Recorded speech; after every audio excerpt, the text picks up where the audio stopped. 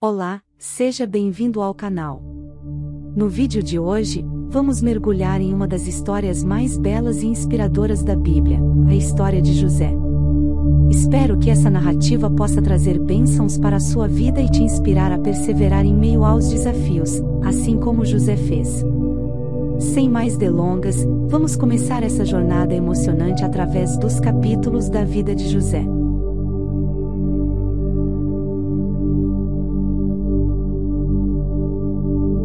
E os homens tomaram aquele presente e dinheiro em dobro em suas mãos e a Benjamim.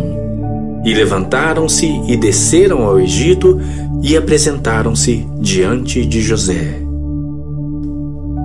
Vendo, pois, José a Benjamim com eles, disse ao que estava sobre a sua casa: Leva estes homens à casa e mata reses e prepara tudo, porque estes homens comerão comigo ao meio-dia.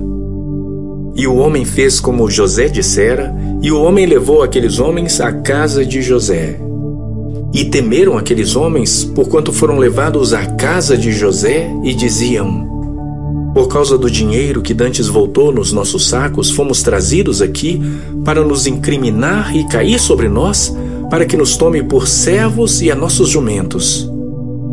Por isso chegaram-se ao homem que estava sobre a casa de José e falaram com ele à porta da casa e disseram: Ai, senhor meu, certamente descemos dantes a comprar mantimento, e aconteceu que, chegando à estalagem e abrindo os nossos sacos, eis que o dinheiro de cada um estava na boca do seu saco, nosso dinheiro por seu peso, e tornamos a trazê-lo em nossas mãos.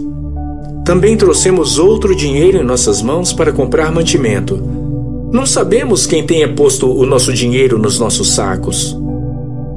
E ele disse: Paz seja convosco, não temais.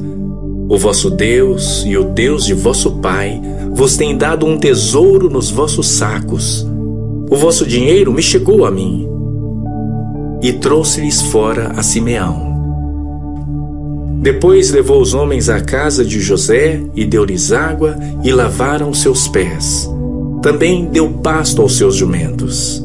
E prepararam o presente para quando José viesse ao meio-dia, porque tinham ouvido que ali haviam de comer pão. Vindo, pois, José à casa, trouxeram-lhe ali o presente que tinham em suas mãos e inclinaram-se a ele até a terra. E ele lhes perguntou como estavam e disse: Vosso pai, o ancião de quem me falastes, está bem? Ainda vive? E eles disseram: Bem está o teu servo, nosso pai vive ainda. E abaixaram a cabeça e inclinaram-se. E ele levantou seus olhos e viu a Benjamim, seu irmão, filho de sua mãe, e disse: Este é vosso irmão mais novo de quem falastes? Depois ele disse: Deus te dê a sua graça, meu filho. E José apressou-se, porque as suas entranhas comoveram-se por causa do seu irmão, e procurou onde chorar. E entrou na câmara e chorou ali. Depois lavou seu rosto e saiu. E conteve-se e disse: Pão pão. E serviram-lhe a parte, e a eles também a parte, e aos egípcios que comiam com ele a parte. Porque os egípcios não podem comer pão com os hebreus, porquanto é abominação para os egípcios.